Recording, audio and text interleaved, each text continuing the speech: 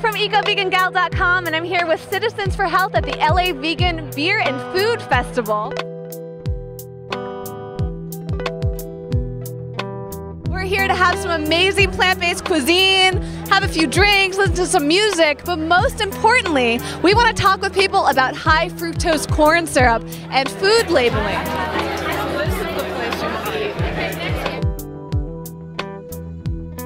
Ever since becoming vegan, I constantly do research on new foods and uh, other ingredients and organic versus GMO and stuff like that. Why are you passionate about healthy food?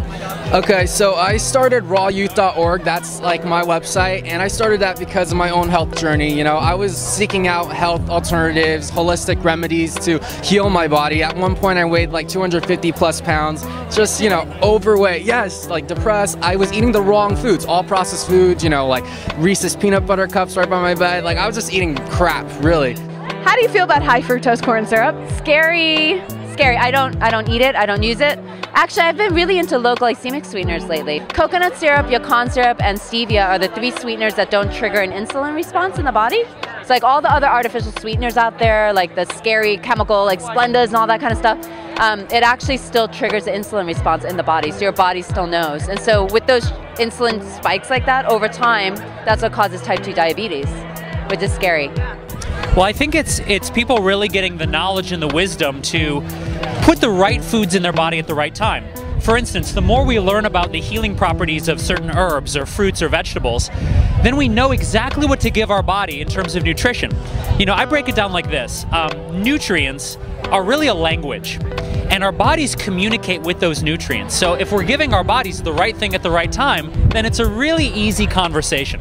Tell us some of your label reading secrets. How do you make it so it doesn't take you forever? Oh my gosh. So if you can't pronounce it, don't eat it. That's the one number one thing. Yeah, right? I mean, it's so easy. And if there's so many different chemicals, it's just like, I don't know if my body's going to be able to react well to that. I'm sort of changing the definition of raw to mean unprocessed. Unprocessed. That's phenomenal. Nobody can sneak in high fructose corn syrup and scary things like that. Preservatives, artificial colors, artificial flavorings.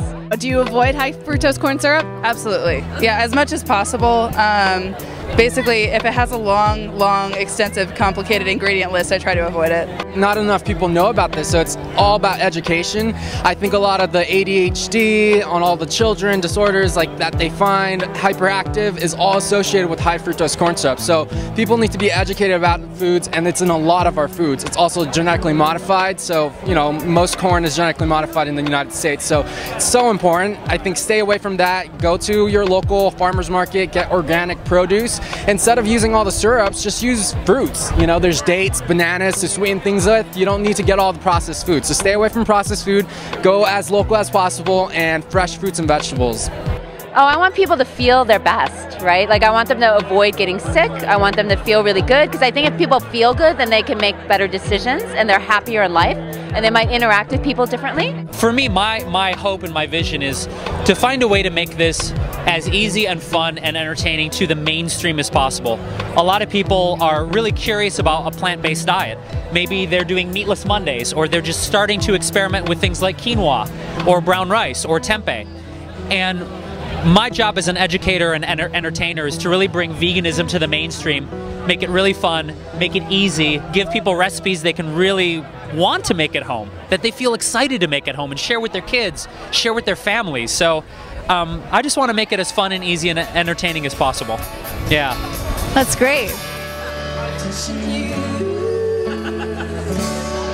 touching me, touching you, oh, touching me.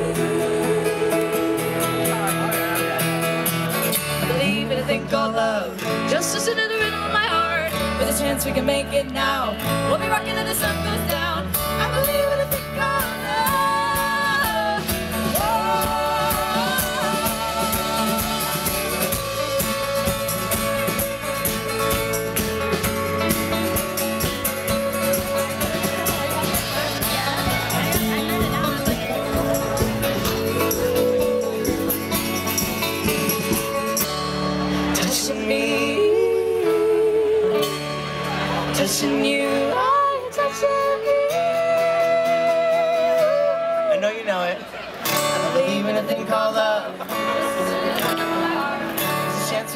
million.